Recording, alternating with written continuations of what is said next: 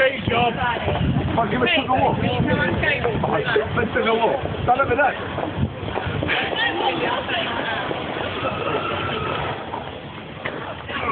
I'm going to let go. of